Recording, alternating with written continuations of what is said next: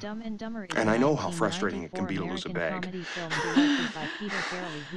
That is so sweet, Bobby Farrelly and Bennett Yellin.